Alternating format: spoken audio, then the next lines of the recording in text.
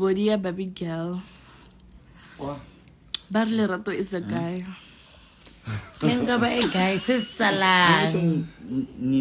Sisalan. Guy or not, guy or not, ufi fitlha o fitlha. Ah. Nine. This is my fucking best book. Tampoco no va a tener las manos, yo voy a llamar. Va a tener Nine.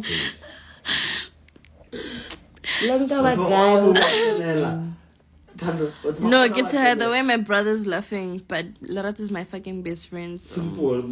Nine. nana ke ba guy ko ba ba ma game Are you ready,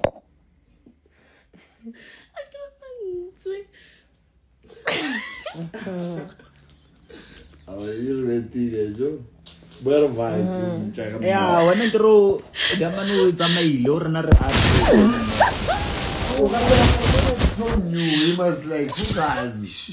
a re kowe wa itse o re ko kae wena lona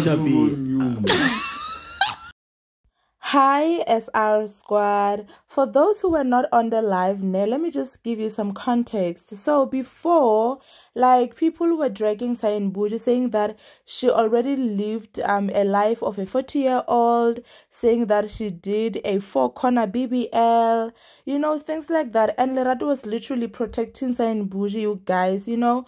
And then when it was um Cyan Boujee's turn to protect Lerato, Cyan Boujee was just laughing. Literally she was just laughing and she didn't even try to protect her friend. So i was just confused. But anyway sr squad do comment down below and let me know what do you think about this